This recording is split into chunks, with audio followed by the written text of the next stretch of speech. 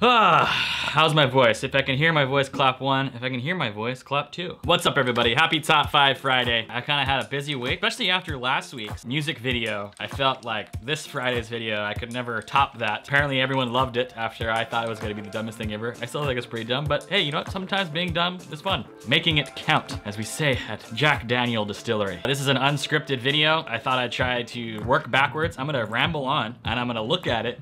I'm to go, this is crap, that's crap, that's that's funny, put this together, but just thought I could have a fun, easy top five Friday. Last night, late night, I posted top five Martys, because Mardi Gras was on Tuesday. Fat Tuesday, top five Martys. And everybody said, this one sucks. And yeah, it's kind of a challenge. That's what I like. Think about it. Think deeply, all right? When you hear the word Mardi Gras, specifically Marty, what do you think of? The first thing and the thing that everybody said is the all-time greatest Marty. Who's that? That is one Marty McFly. Marty McFly from Back to the Future, of course, Michael J. Fox. But let's go deeper on there. Michael J. Fox, what is he famous for? Well, he first appeared in a TV show called Family Ties. Family Ties starred my cousin, Brian Bonsall, who then later became the star of a Disney movie called Blank Check. Most of you may have seen it. And later in life became a musician playing guitar for a band called the Ataris. The Ataris is one of my favorite bands growing up in high school. It was actually the first band that really introduced me to rock music and which got me playing guitar. The Ataris' most biggest hit ever was called San Dimas High School Football Rules, a joke after the movie Bill and Ted's Excellent Adventure, starring one,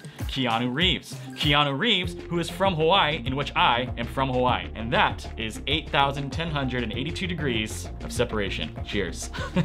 Marty is French for Tuesday. Let's go down that rabbit hole. Got any famous Tuesdays in our life? Well, we got Tuesdays with Morrie, Taco Tuesday, and lovely Claire War pointed out to me that my hero, Mark Hamill, aka Luke Skywalker, was born on a Tuesday. I guess you could say, it's going up on a Tuesday. Well, let's look at the word Marty, short for Martin, right? How about some famous Martins in our life? Martin Sheen, Martin Luther King, Dean Martin, the Martini, Martin Lawrence has gotta be up there. Martin!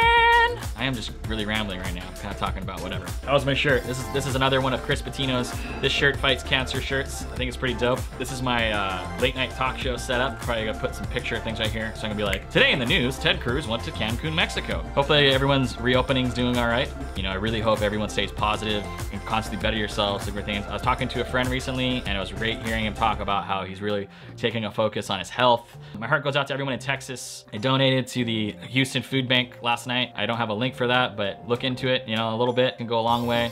Thank you for watching Top 5 Friday, the special wacky edition. I hope you all have a wonderful and grateful weekend. Remember to go out and be grateful. Love all, serve all, take care. And I, again, I'm sitting behind the desk, so I can't. Clap one, I like that. Clap one, ready? And